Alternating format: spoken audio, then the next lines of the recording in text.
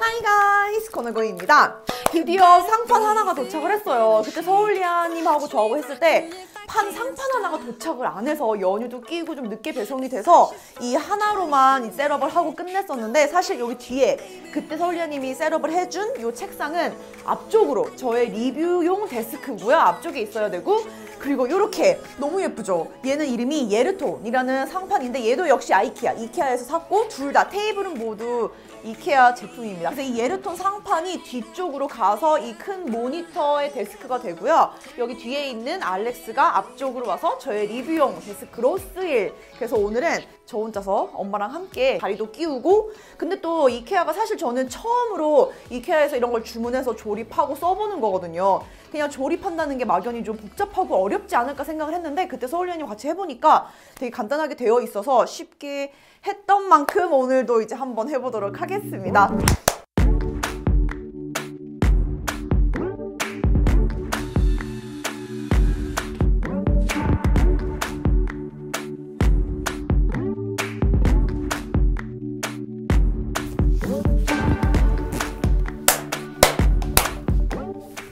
하이가이즈는 했구나 참.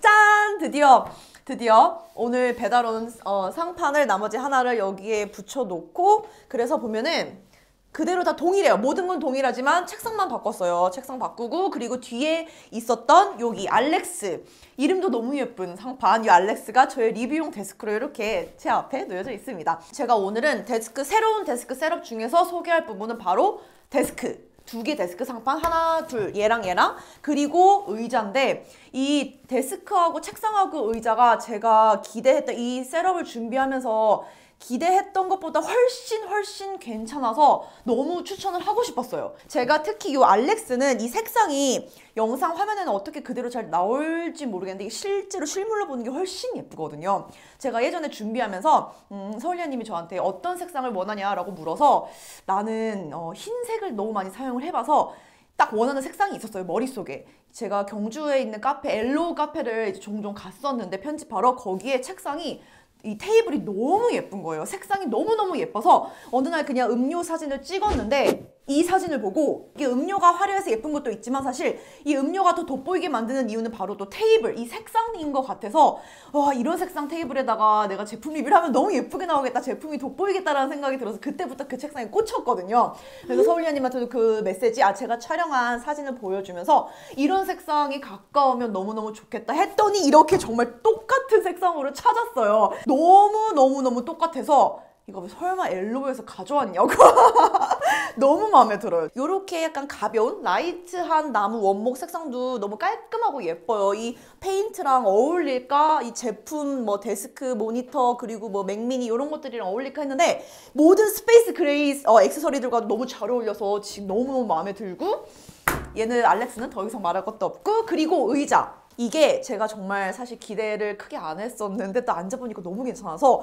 저의 제가 앉는 여기 의자에 앉는 사람의 키와 몸무게에 맞게 딱 주문 제작되는 그런 의자라서 편집할 때는 아무래도 모니터 쪽으로 몸이 기울어지겠지만 이제 뭐 댓글 달 때 아니면 영상 볼 때 넷플릭스 영화 볼 때 어떤 뭐 그냥 편안하게 앉은 자세로 볼 때 그냥 이런 식으로 해서 보면은 목하고 허리하고 그냥 상체, 엉덩이 다 정말 폭신하다, 뭔가 편안하다라는 느낌이 들어요. 또 귀여운 게 뭐냐면 의자, 여기 손잡이 있죠? 손잡이가 이렇게 올라와요. 그래서 이런 조절들이 사실 보통 기존에 있는 어떤 좀 비싼 브랜드 있는 유명한 의자들도 어떤 조절은 다 가능하잖아요. 그런데 얘는 얘는 진짜 실제로 사용하기에 편하게 조작되어 있어요. 다른 거는 막 뭔가 어렵게 돼 있고 잘 안 쓰게 되는 기능들이 좀 많았는데 저도 그냥 이렇게 안쪽에 손잡이가 있어서 올리면 딱 완전 넷플릭스용 의자 그리고 저는 또 습관이 앞바다리 앞바다리라 그러죠? 이렇게 다리를 올려서 이렇게 앉는 거 이렇게 앉는 게 좀 습관이에요. 그래서 여기 엉덩이 부분을 기존에는 그냥 이제 엉덩이가 딱 허리에 닿게 이렇게 있다면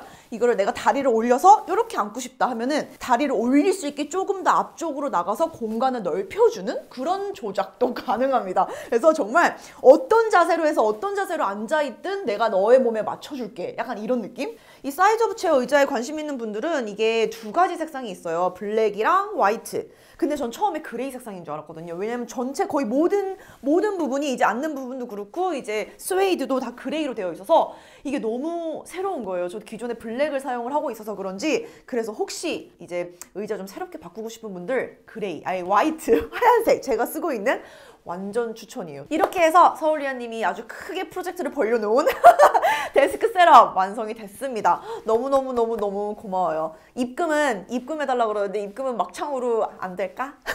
모든 게 끝이 났지만 저에게 아주 큰, 큰 숙제가 또 남아있어요. 바로 선정리. 전혀 보이지 않고 아주 깔끔하게 정리되어 있는 것 같지만 지금 바닥은 난리가 났거든요.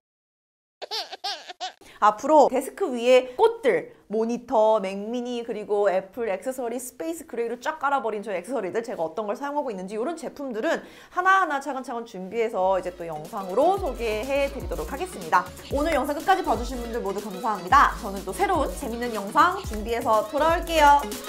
바이 가이! 자, 넷플릭스를 시청해볼까?